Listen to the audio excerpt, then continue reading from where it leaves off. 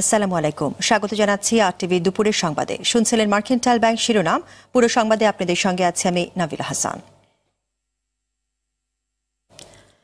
স্বাস্থ্য অধিদপ্তর জানিয়েছে, ডেঙ্গু জ্বরে আক্রান্ত হয়ে নতুন করে এগারোশো উননব্বই জন হাসপাতালে ভর্তি হয়েছেন। গেল চব্বিশ ঘন্টায় চট্টগ্রামে পঁয়ত্রিশ জন ডেঙ্গু রোগী শনাক্ত হয়েছে। এর মধ্যে চট্টগ্রাম মেডিকেলে ভর্তি আছেন তেইশ জন, বাকিরা জেলার বিভিন্ন হাসপাতালে ভর্তি হয়েছেন। সিরাজগঞ্জে ডেঙ্গু জ্বরে আক্রান্তের সংখ্যা বাড়ছে। চব্বিশ ঘন্টায় আরও ষোলো জন ডেঙ্গু রোগী হাসপাতালে ভর্তি হয়েছে।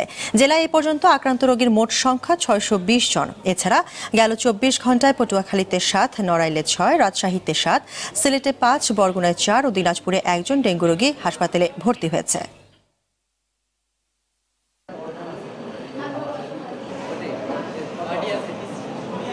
খেলতে গেছি রে ওখানে কামড় দিছে। ওষুধ আহ, আগে দিছিল না পরে এসব সরানোর পরে কিছু ওষুধ দিছে। এর আগের থেকে তো প্রস্তুতি নেওয়া দরকার প্রত্যেক বছর তো এটা বাড়তেছে আমাদের দেশে দেখতেছি। তারপর পত্রিকা টিভি খুললেই দেখা যায় বাড়তেছে। এখন এটার আর ওষুধের যে কার্যকরিতা কতটুকু সেগুলো তো মান নির্ণয়ন করা বা দেখা এগুলো দরকার মনে করি আর সিটি কর্পোরেশন মানে খুব একটা ওদিকে মানে ইয়ে করতেছে না যা দেখতেছি মুগ্ধা এলাকা। দর্শক এই মুহূর্তে সিরাজগঞ্জ থেকে সরাসরি যোগ দিচ্ছেন সহকর্মী সুকান্ত সেন। সুকান্ত সিরাজগঞ্জে বিভিন্ন হাসপাতালে বর্তমানে কতজন ডেঙ্গু রোগী ভর্তি রয়েছেন?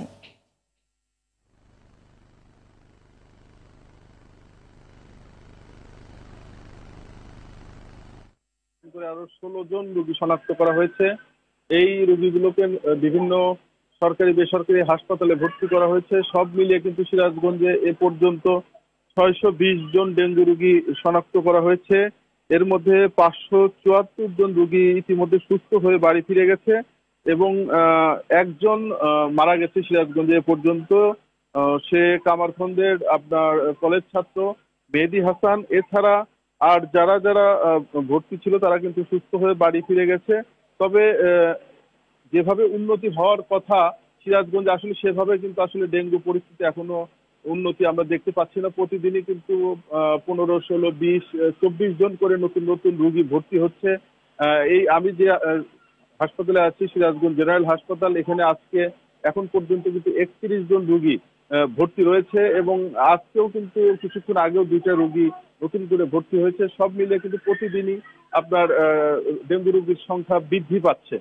আর পাশাপাশি আপনাকে জানিয়ে রাখি যে, এখানে কিন্তু যে ডেঙ্গুর যে পরীক্ষাগুলো হওয়ার কথা এই হাসপাতালে, সেই পরীক্ষাগুলো কিন্তু সবগুলো হচ্ছে না। এই কারণে কিন্তু এখানকার রোগীরা বাধ্য হয়ে বিভিন্ন বেসরকারি হাসপাতালে থেকে তাদেরকে পরীক্ষাগুলো করাতে হচ্ছে। এতে কিন্তু তাদের ব্যয়ও বৃদ্ধি পাচ্ছে।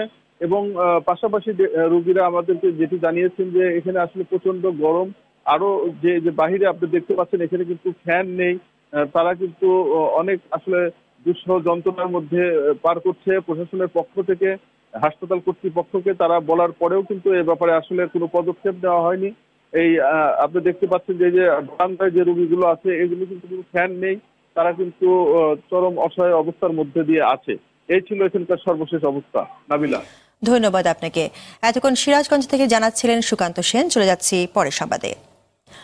হু হু করে বাড়ছে পেঁয়াজের দাম। বাজারে সপ্তাহে ব্যবধানে দশ টাকা বেড়ে দেশি পেঁয়াজ বিক্রি হচ্ছে কেজি প্রতি ষাট টাকা আর ভারতীয় পেঁয়াজ পঞ্চাশ টাকা। এদিকে সবজির দাম কিছুটা কমলেও অনেকটাই বেশি ইলিশ সহ অন্যান্য মাছের দাম।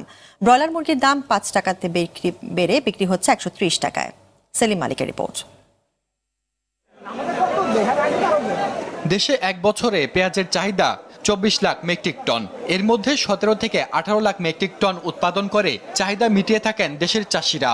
বাকিটা আসে আমদানি করা ভারতীয় পেঁয়াজ থেকে। ব্যবসায়ীরা বলছেন, বন্যার কারণে দেশি ও ভারতীয় পেঁয়াজের উৎপাদন কমেছে, সঙ্গে কমেছে আমদানিও, ফলে বাড়ছে দাম। গত সপ্তাহে দেশি পেঁয়াজ পাইকারি আনছি ছয়চল্লিশ টাকা, এই সপ্তাহে আনছি পঞ্চাশ টাকা। খুরসা ব্যস্ত আছে ষাট টাকা। ইনকাম ওই হিসাবে আমাদের যে বাজার করে খাওয়া চলা যে টাকা বেতন পাই খুবই একটা কষ্টকর হয়ে দাঁড়ায় আর কি। এদিকে সরবরাহ ভালো থাকায় কমতে শুরু করেছে প্রায় সব ধরনের সবজির দাম। গত সপ্তাহে এই সপ্তাহে দাম কম যেমন শসা বেচতেছি চল্লিশ টাকা গত সপ্তাহে ষাট টাকা ছিল। আর উস্তা বেচতেছি ষাট টাকা কেজি বরবটি ষাট টাকা পঞ্চাশ টাকা। বাজারে মাছ প্রচুর থাকলেও দাম কমছে না। বিশেষ করে ইলিশ কেজি প্রতি বিক্রি হচ্ছে হাজার টাকার উপরে। এক কেজি একশো দুইশো। এই মাত্র সর্বনিম্ন রেট এগারোশো টাকা দিয়ে বেচছি। আর সকালে দেড় কেজি এক কেজি চারশো গ্রাম বেশি চোদ্দশো টাকা কেজি। আজকে ভালোটা তিনশো গুঁড়োটা দুইশো। সপ্তাহের ব্যবধানে ব্রয়লার মুরগি কেজিতে বেড়েছে পাঁচ টাকা। আগে গত সপ্তাহ ছিল একশো বিশ টাকা এই সপ্তাহে একটু দশ টাকা বাড়তি গরুর মাংস বিক্রি হচ্ছে সাড়ে পাঁচশো টাকায় খাসির মাংস সাড়ে সাতশো আর ছাগলের মাংস সাড়ে ছশো টাকা। বাজারে আগের দামে বিক্রি হচ্ছে সব ধরনের চাল। সেলিম মালিক আরটিভি ঢাকা। বাংলাদেশে প্রতিটি গুমের পেছনে রাষ্ট্রীয় মদত রয়েছে বলে অভিযোগ করেছেন বিএনপির সিনিয়র যুগ্ম মহাসচিব রুহুল কবির রিজভী। বলেন, যারা বিএনপি নেতাকর্মী সহ অন্যান্য গুমের সঙ্গে জড়িত জনতার আদালতে তাদের একদিন বিচার হবে। বলেন, গুম করে কেউ কোনোদিন রেহাই পায়নি, পাবেও না। আন্তর্জাতিক গুম দিবস উপলক্ষে নয়াপল্টনের সংবাদ সম্মেলনে এসব কথা বলেন তিনি। এদিকে, মৌলভীবাজারে জিয়াউর রহমান অডিটোরিয়ামের নাম তুলে দেওয়ার ছাত্রলীগের কঠোর সমালোচনা করেন তিনি। বিশেষ উদ্বেগ প্রকাশ করা হয়। ডাকসুর সাবেক জিএস। বাংলাদেশ এবং আওয়ামী লীগ এমনই ওদের কর্তৃত্ববাদী মন, এমনই একটি গ্রাম্য মোড়ল শ্রেণির মতো তাদের মন যে তারা ছাড়া আর বাংলাদেশে কারও কোনো অবদান স্বীকার করা হবে না। সেটা মৌলানা ভাসানি হোক, সেটা শহীদ রাষ্ট্রপতি জিয়াউর রহমানই হোক, আর তাজউদ্দিন সাহেবই হোক। রাষ্ট্রীয় মদত ছাড়া কাউকে গুম করা অসম্ভব। এত সব গুমের হোতাক তারা। গুমের সাথে জড়িত ব্যক্তি ও তাদের মদতদানকারীরাও বিচারের আওতার বাইরে থাকবে না। প্রতিটি গুমের তদন্ত ও বিচার একদিন হবে। দেশে বিশতলা ভবন পর্যন্ত আগুন নিয়ন্ত্রণের সক্ষমতা অর্জন করেছে বাংলাদেশ ফায়ার সার্ভিস। বহুতল ভবনে অগ্নি নির্বাপনে নতুন করে আরও তিনটি অত্যাধুনিক টিটিএল মেশিন আনা হবে বলে জানিয়েছেন ফায়ার সার্ভিসের মহাপরিচালক ব্রিগেডিয়ার জেনারেল সাজ্জাদ হোসেন। গেল রাতে একটি মহড়া শেষে তিনি এসব কথা বলেন। দীপ্তচন্দ্র পালের সহায়তায় মাইদুর রহমান রুবেলের রিপোর্ট। চলতি বছরের রাজধানীতে বেশ কিছু অগ্নিকাণ্ডের ঘটনায় আলোচনায় ফায়ার সার্ভিস। প্রশ্ন ওঠে তাদের সক্ষমতা, ব্যর্থতা নিয়েও। ফলে নড়েচড়ে বসে প্রতিষ্ঠানটি। বনানীর এফআর টাওয়ার কিংবা চুরিহাট্টার মতো ভয়াবহ অগ্নিকাণ্ড থেকে কতটা শিক্ষা নিয়েছে ফায়ার সার্ভিস? যদিও প্রতিষ্ঠানটি বলছে, তাদের যন্ত্রপাতিতে এসেছে আধুনিকতার ছোঁয়া। মধ্যরাতে হাতির জিলের পাশে পুলিশ প্লাজার চারতলায় আগুন। অনেকে ভয় পেয়ে আতঙ্কিত। না, সত্যি আগুন লাগেনি। মহড়ার জন্য লাগানো হয় আগুন। দমকল বাহিনীর একশো দশ সদস্যের ত্রিশ মিনিটের প্রচেষ্টায় নিয়ন্ত্রণে আসে আগুন। মূলত নিজেদের সক্ষমতা কতটা তার জানান দিতেই বৃহস্পতিবার রাতে পুলিশ প্লাজায় মহড়া চালায় ফায়ার সার্ভিস কর্মীরা। মহড়া শেষে প্রতিষ্ঠানটির প্রধান জানান বহুতল ভবন তৈরির আগে নিজেদের অগ্নি নির্বাপনের ব্যবস্থা রাখলে কমবে ক্ষতি একই সাথে চাপ কমবে ফায়ার সার্ভিসের। বহুতল ভবনের একটা নিজস্ব ক্যাপাবিলিটি থাকা উচিত যেখানে তারা কমপক্ষে বিশ মিনিট পর্যন্ত ফায়ারকে সাবসাইড করতে পারবে বা সাপ্রেস করতে পারবে। সবচেয়ে বড় প্রবলেম হলো আমাদের যে বহুতল ভবনগুলো আছে সেই সমস্ত অনেকগুলো বহুতল ভবনই এই প্রযুক্তিটা ব্যবহার করছে না। ওয়ার্ল্ড ব্যাংকের ইয়েতে প্রজেক্টে আমাদের আরও তিনটা বিশতলা যাওয়ার মতো টার্ন টেবিল লেটার আগামী দু মাসের মধ্যে ইনশাল্লাহ চলে আসবে। দ্রুত অগ্নি নির্বাপনের পাশাপাশি উদ্ধার কাজ এবং প্রাথমিক চিকিৎসায় সর্বদা ফায়ার সার্ভিসের প্রচেষ্টা অব্যাহত থাকবে বলেও জানান প্রতিষ্ঠানটির এই প্রধান। সবচেয়ে বড় সমস্যা হলো উৎসুক জনতার ভিড়। মাইদুর রহমান রুবেল আরটিভি ঢাকা। একটি সেতুর জন্য দুর্ভোগের শেষ নেই চট্টগ্রামের মিরসরাই উপজেলার ত্রিপুরাপল্লীর বাসিন্দাদের। দীর্ঘ পাঁচ বছর ধরে কাঠের সেতুটি ভাঙা থাকায় জীবনের ঝুঁকি নিয়ে চলাচল করছেন পল্লীর শিক্ষার্থী সহ অন্যান্য বাসিন্দারা। তবে খুব দ্রুত সেতুটি তৈরি করে দেওয়ার আশ্বাস দিয়েছেন স্থানীয় উপজেলা চেয়ারম্যান। সীতাকুণ্ড প্রতিনিধি সাইফুল মাহমুদের রিপোর্ট জানাচ্ছেন মশায়েল অমি। দীর্ঘ সময় সংস্কার না হয়, চট্টগ্রামের মিরসরাইয়ের মধ্যতালবাড়িয়া ত্রিপুরাপল্লীর একমাত্র সেতুটি কয়েকটি খুঁটি ও পাটাতন ভেঙে নড়বড় হয়ে পড়েছে। কোন মতে টিকে থাকা সেতুটির উপর দিয়ে পারাপারের সময় এটি দোলনার মতো দুলতে থাকে। ত্রিপুরাপল্লীর শিক্ষার্থীরা ও সাধারণ মানুষ ঝুঁকি নিয়ে নিয়মিত চলাচল করছে ভাঙা সেতুর উপর দিয়ে। এ ভাঙা পল্লী আসতে আমার খুব ভয় লাগে। এক পাল থেকে আসতে ভয় লাগে। সাদা পাড়ার সবাই আসা যাওয়া করতে আমরা কষ্ট হয়ে গেছে এখন ভাঙ্গা পল দিয়া। এখন আসা যাওয়া করতে পারি না। তো আমরা কীভাবে এই রাস্তা দিয়ে চলাফেরা করবে? বর্ষা মৌসুম বলেন শুকনো মৌসুম বলেন আমাদের বাচ্চারা স্কুলে বাচ্চারা কোন সময় কি মৃত্যু ঘটায়? ভাঙা কাঠের সেতুটির স্থলে একটি বড় স্থায়ী পাকা সেতু করার আশ্বাস দিলেন স্থানীয় জনপ্রতিনিধিরা। লোকজনকে যেভাবে আমরা তাদের রাস্তাঘাট ফুল কালবাট এবং জীবনের নিরাপত্তা দিচ্ছি সেভাবে এইসব নিরাপত্তা এবং তাদের রাষ্ট্রীয় মর্যাদা পাওয়ার সম্পূর্ণ অধিকার তারা রাখে। বায়োটির ভিত্তিতে এটা সংস্কারের ব্যবস্থা করব যাতে বাচ্চাদের স্কুলে যাওয়া আসার কোনো অসুবিধা না হয়। ত্রিপুরাবাসীর আশা, দ্রুত সেতুটি, মেরামত বা নতুন সেতু তৈরি করে দিলে যাতায়াতের দুর্ভোগ লাঘব হবে। মাসা আলমী আর টিভি ঢাকা মহানগর মহিলা কলেজ কম খরচে মানসম্মত উচ্চশিক্ষার মাধ্যমে মেয়েদের সুনাগরিক হিসেবে গড়ে তুলতে রাজধানীর লক্ষ্মীবাজারে উনিশশো সাতানব্বই সালে তৎকালীন মেয়র মোহাম্মদ হানিফ শিক্ষা প্রতিষ্ঠানটি গড়ে তোলেন। বর্তমানে যার ছাত্রী সংখ্যা প্রায় ছয় হাজার। সমাজের শ্রেষ্ঠ মানুষ হিসেবে নারীদের গড়ে তুলতে নিরলসভাবে কাজ করে যাওয়ার কথা জানালেন প্রতিষ্ঠানের অধ্যক্ষ জাহিদ রহমানের রিপোর্ট।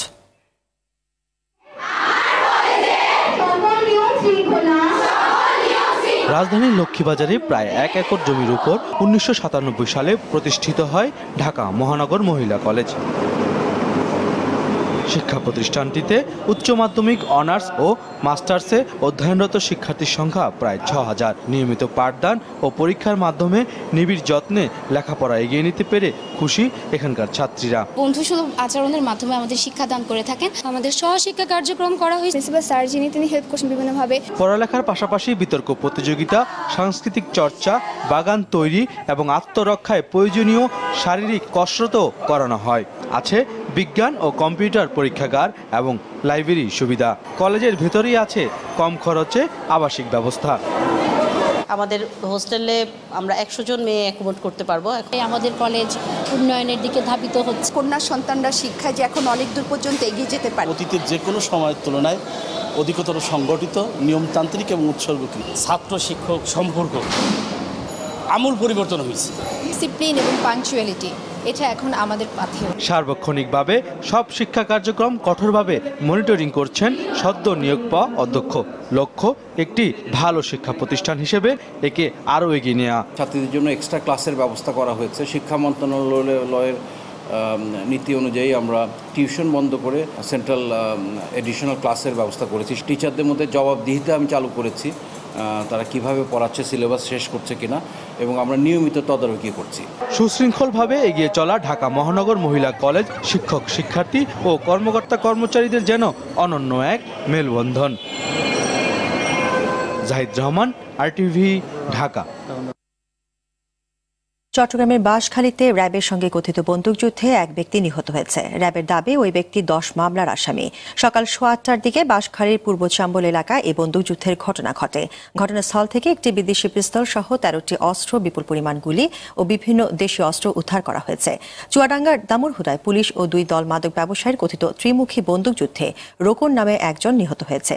গেল রাতে উপজেলার জয়রামপুর কাঁঠালতলা গ্রামে এই ঘটনা ঘটে। পুলিশ জানায়, নিহত ব্যক্তি তালিকাভুক্ত মাদক ব্যবসায়ী।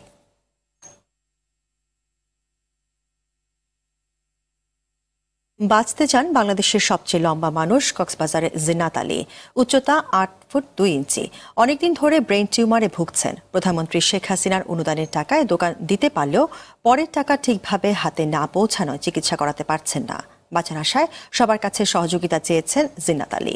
আরও থাকছে এয়ার বাদলের রিপোর্টে। এগারো বছর বয়স থেকে অস্বাভাবিকভাবে লম্বা হতে শুরু করেন জিন্নাত আলী বাবা আমির হামজা পাহাড়ে বাঁশ কেটে সংসার চালালেও এখন অক্ষম। বড় ভাই দিনমজুর তাই খেয়ে না খেয়ে দিন কাটে সবার। এরই মধ্যে ব্রেনে টিউমার ধরা পড়ায় জীবন সংখ্যায় দিন কাটছে জিন্নাত আলীর চিকিৎসার অভাবে অসুস্থ জিন্নাত আলী কাজ করতে পারছেন না, চান সবার সহযোগিতা। বিষয়টি প্রধানমন্ত্রীর নজরে আসলে সাড়া দেন তিনি। আমি মাননীয় প্রধানমন্ত্রীর কাছে গেছিলাম, হয় যে, ওই যেটা অনুদান দিছে, এটা আমার একটা দোকান দিছে, দোকানটা আমি পাইছি, হয় পরবর্তী আমার কোরবানি দিবে সেটা হয় না আরও ব্যবস্থা ওষুধ চিকিৎসার দায়িত্ব নিয়েছে। সাঁত্রিশ বছর বয়সে এসে যেন জীবনের হাল ছেড়ে দিয়েছেন জিন্নাত আলী। সময় সময় অনেকে সাহায্যের প্রতিশ্রুতি দিয়ে ক্যামেরার সামনে দাঁড় করিয়ে দিলেও হতাশা ছাড়া আর কিছুই মিলেনি। মেয়েরা সমস্যা বলছে আমি অনেক ওষুধের প্রয়োজন অনেক টাকার প্রয়োজন। অহন এটা আমরা যেটা পরীক্ষা নিরীক্ষা যেটা আছে এটা দিছি, অহন টাকা লাগবে, টাকার ব্যবস্থা আজও হয় না।